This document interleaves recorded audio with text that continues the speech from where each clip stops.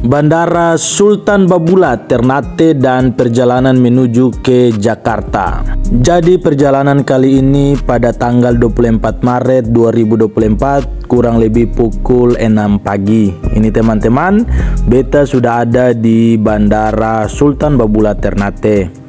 Jadi karena pesawatnya pagi dengan Batik Air langsung dari Ternate menuju Jakarta, jadi ini beta datang lebih cepat atau lebih dulu. Jadi teman-teman karena di Maluku Utara ini begitu banyak perusahaan tambang nikel yang asalnya dari Cina. Jadi ini teman-teman bisa lihat saat beta di bandara itu beta lihat banyak sekali tenaga kerja asing dari Cina yang juga mau berangkat. Ini teman-teman bisa lihat ini para karyawan uh, tambang nikel dari Cina yang mau melaksanakan cuti dan berangkatnya itu dari Ternate. Ini teman-teman saat beta tunggu ada juga di depan beta itu pilot dan kru pesawat Garuda yang mau melaksanakan flight dari Ternate. Karena flight dari Ternate menuju Jakarta dengan Batik Air sudah open check-in, jadi ini beta sudah melakukan check-in. Dan teman-teman beta order untuk dapat tempat duduk di dekat jendela. Jadi teman-teman bisa lihat ini salah satu ruangan yang ada di Bandara Sultan Babula Ternate. Jadi beta turun dan menuju ke ruang tunggu. Itu teman-teman bisa lihat pahlawan dari Ternate Maluku Utara Sultan Babula.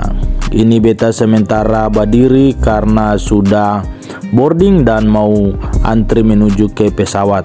Teman-teman bisa lihat banyak wajah-wajah dari tenaga kerja asing yang mau melakukan penerbangan dari Ternate menuju ke Manado karena dari Manado itu ada penerbangan internasional yang langsung menuju ke uh, Tiongkok atau Cina.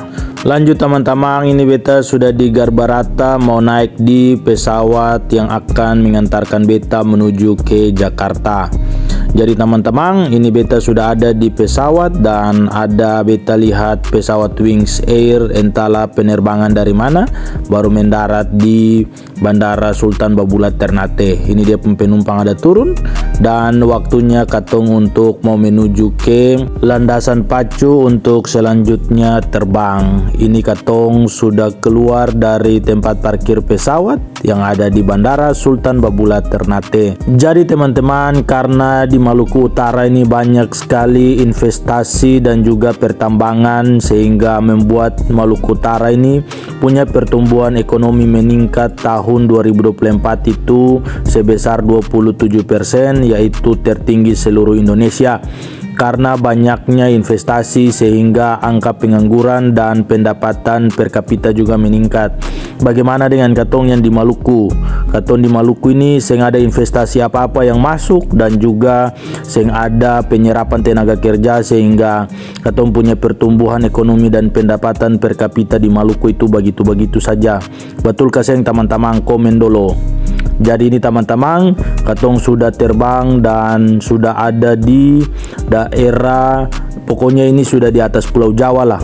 Ini teman-teman bisa lihat karena informasi dari pilot itu katong sudah mau mendarat. Ini teman-teman bisa lihat perumahan tersusun rapi dan juga bangunan-bangunan tinggi apartemen begitu. Katong bisa bayangkan bangun atau beli rumah di sini dia pun mahal bagaimana. Jadi karena bangun di atas pulau reklamasi atau pulau buatan jadi bisa prediksi sendiri dia punya mahalnya itu pasti naujubila.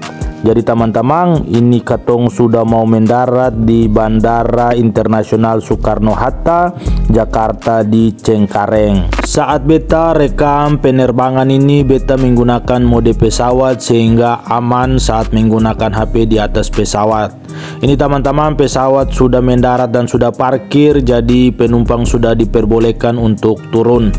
Ini Katong sudah turun, beta sudah ada di Garbarata mau menuju ke ruang atau pintu kedatangan supaya mau langsung pesan mobil untuk menuju ke beta punya hotel. Jadi teman-teman itu tadi beta pun perjalanan dari kota Ternate menuju ke ibu kota Jakarta yang sebentar lagi status ibu kotanya sudah hilang. Jadi terima kasih teman-teman sudah ikuti beta pun video sampai selesai. Mohon maaf jika ada salah-salah kata. Jangan lupa like, jangan lupa komen katong buat video tentang apa lagi. Sukses selalu buat katong, Tuhan memberkati.